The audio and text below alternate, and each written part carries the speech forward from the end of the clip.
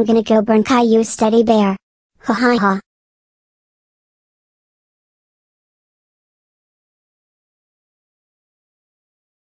What the hell do you want? I'm sorry, teddy bear. Prepare to go to hell.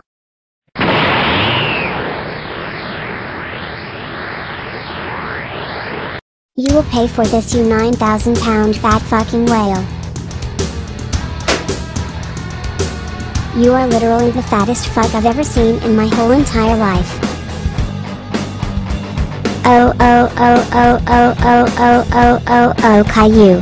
How dare you jump on my face. I will kill you now. Did you really just piss on my McDonald's? What the fuck is your problem?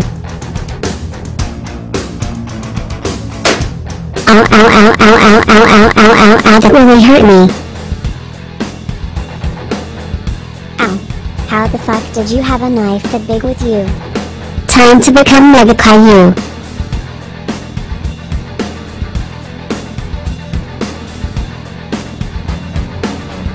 Fuck you. Why did you destroy my teddy? Because you are a whiny little fat ass.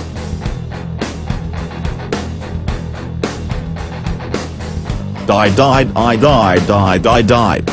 Finally, I killed both of those annoying little shits and saved the world. Thank you Boris, you saved the world from Caillou and Fat Caillou.